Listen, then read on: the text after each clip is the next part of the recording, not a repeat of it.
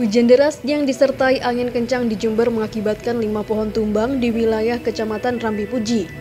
Akibat bencana ini, tiga warung dilaporkan rusak dan satu korban mengalami luka ringan.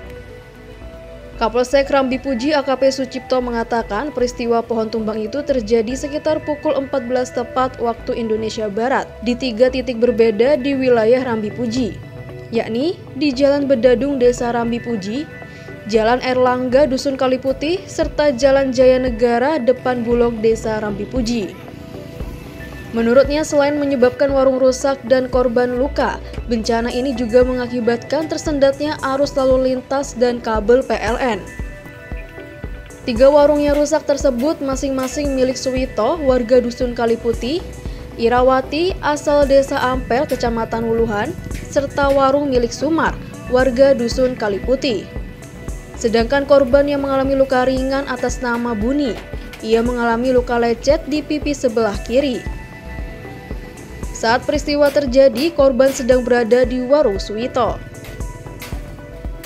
Setelah mendapat laporan adanya bencana tersebut, personel Polsek Rambi Puji bersama relawan Desa Siaga Bencana atau Destana dan Badan Penanggulangan Bencana Daerah atau BPBD Jember, serta aparat TNI bersama warga melakukan gotong royong memotong dan membersihkan pohon yang tumbang.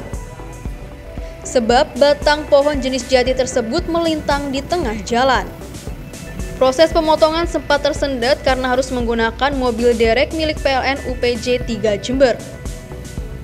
Selain itu, pemilik warung juga berusaha untuk menyelamatkan dagangan dan motornya yang tertimpa reruntuhan warung. Beruntung proses evakuasi berjalan lancar, dan saat ini arus lalu lintas kembali normal.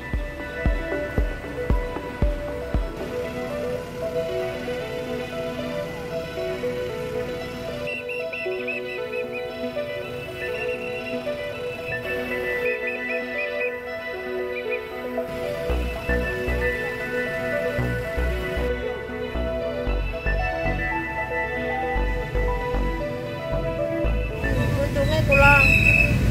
Manggil masih cepet-cepet ayo metu seandainya pulang itu nggak manggil masih ayo metu mungkin saya sudah di kayu besar itu